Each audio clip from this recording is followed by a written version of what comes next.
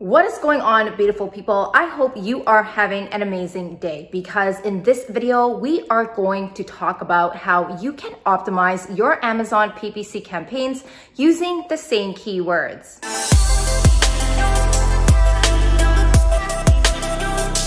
So I received a really good question from one of my students in my advanced PPC training. She asked me, Tamara, how do I optimize these keywords if they have the exact same meaning?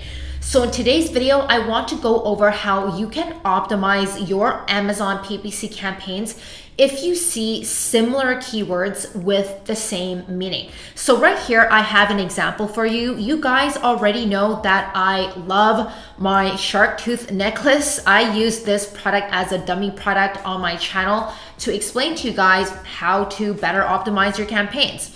So today we have the shark tooth necklace and I want to point out something that is very important that a lot of new beginner Amazon sellers overlook.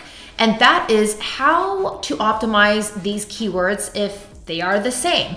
So if we look at the keywords right here for the shark tooth necklace, you see my necklace right here, we have the keyword shark tooth necklace. So these keywords are keywords that I pulled out from my automatic search term report. You guys all know how this report looks like. You should all have one for yourselves and you download this report within Seller Central.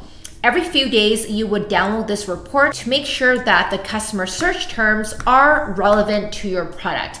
And this is how you can further optimize your campaigns. Now, before we get into that, I chose these keywords from the customer search terms that I found right here because they have the same meaning. So right here, we have a customer searching shark tooth necklace. And then we have someone else searching necklace shark tooth, shark teeth necklace, shark tooth, which is one word, which is misspelled necklace, shark's tooth necklace. When I look at all of these five keywords, and I'm sure there are many more, I just didn't go through the entire list right here, but I'm sure that there are so many other keywords that mean exactly the same thing, but they are spelled differently they are spelled in different types of phrases when the customers are searching on Amazon. So, one of the biggest mistakes that I see happening with Amazon sellers today is that they treat all of these keywords the same just because they have the exact same meaning. But what I am here to tell you today is that you cannot treat these keywords the same. So, what do I mean by that? So if I go to my advertising search term report right here, this is shark tooth necklace. And this is the information that we gathered from the keyword shark tooth necklace.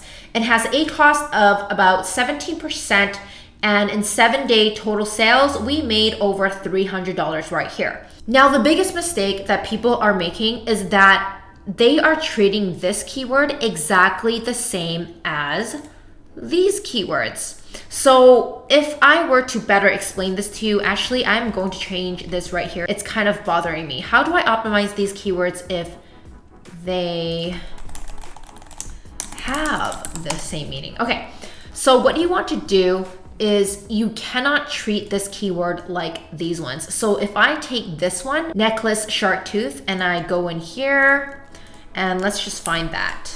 Necklace shark tooth it's right here. So you see how this data is completely different? Let's just highlight this orange.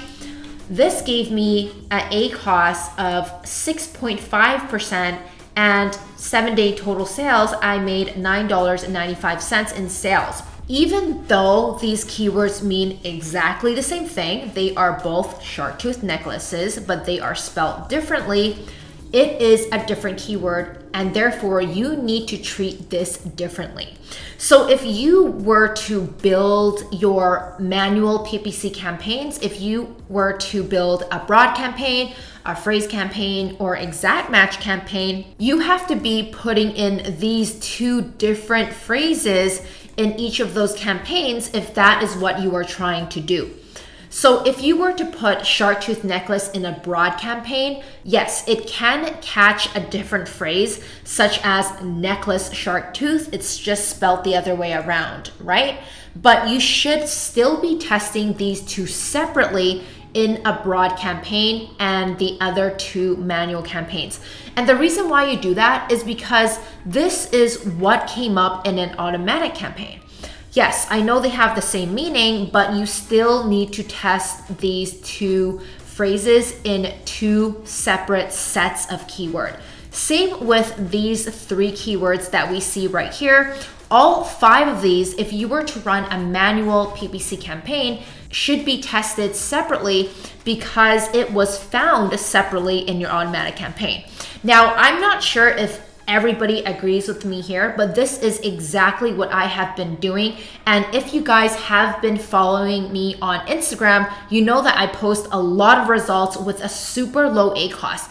And that is all from exactly what I am doing right here. Instead of treating five of these keywords to be exactly like one keyword, I am building separately five different keywords in my campaigns. So let me show you how to do this.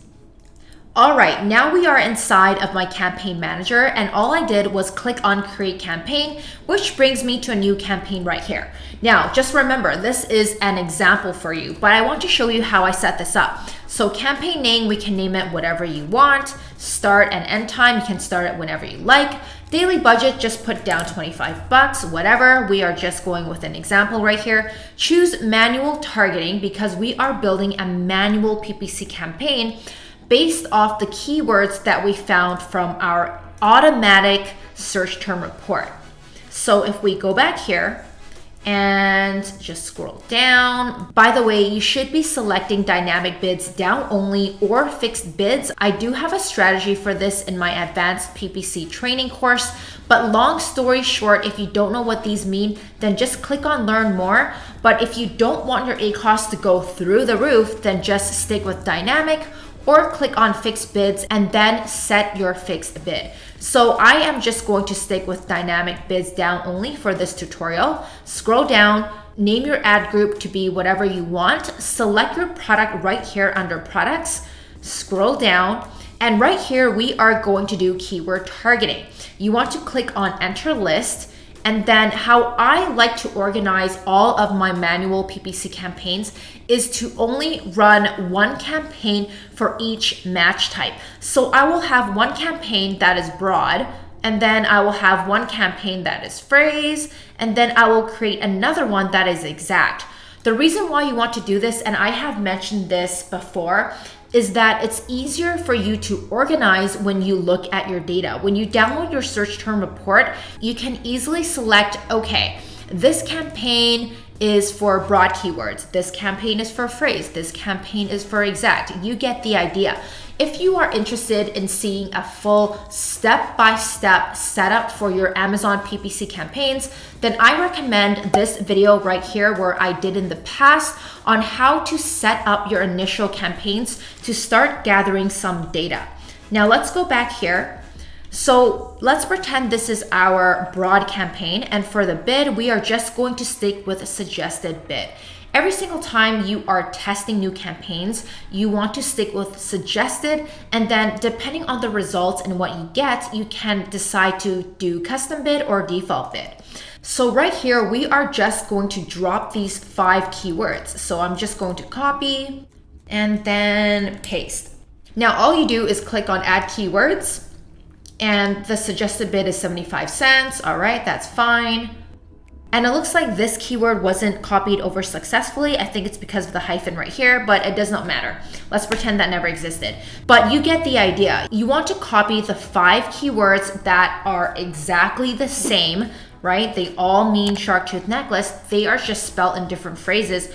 And then you want to test them in your manual PPC campaigns. So, like I said, they all have the same meaning, but you should still test these in different phrases to see which one will give you the lowest ACOS. After this, you click on launch campaign and that's it. Now, you should be keeping an eye out on how your campaigns perform because depending on how they perform, how low the ACOS is or how high the ACOS is, you should be downloading your search term reports every single day. I like to do it once a day. You can do it every two days. It doesn't matter that much, but my main point is do not just take off and go on vacation or else your ACOS will shoot through the roof. So what you want to do is look at this data and then start optimizing which keywords have a high ACOS and which phrases that you put in here can be put into the negative keywords, negative phrase or negative exact. If you need help with understanding the difference between negative phrase keywords or negative exact match keywords, then I suggest you to go back to this video right here where I explain to you the difference between negative exact and negative phrase.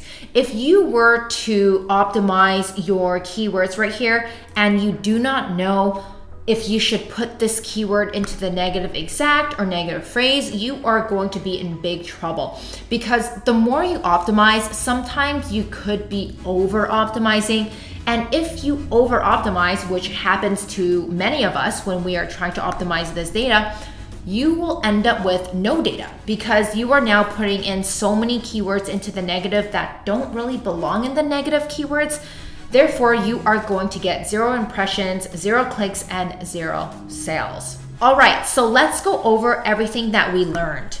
When you are pulling out keywords from your advertising search term report, even though they mean the same thing, which they do, right? They all have the same meaning right here. It is the same meaning, right? You still have to treat it differently. So if we take your product, for example, if your search term report has keywords like beach ball, um, summertime beach ball, ball for the beach, you see, they all have the same meaning, which is a beach ball, but they need to be treated differently so you can get the best data from your manual PPC campaigns. Also, you may be wondering, okay, Tamara, this is great, but if we put all of these keywords across broad, phrase, and exact match campaigns, won't they bid against each other? Well, lucky for you, I made a video right here where I talk about keywords that are the same and that you place across all your manual PPC campaigns and how they may or may not bid against each other. You don't want to miss that video and that is the one right here. I hope this video has helped you today because I know a lot of people are making the same mistake and they are treating the similar keywords exactly the same, but don't do that, you guys. You want to treat these keywords differently and run the keywords separately so you can analyze the different ACOS that comes up for these keywords. Please help me give this video a huge thumbs up. Remember to subscribe to my channel and hit the notification bell so you can get notified every single time I post a new video.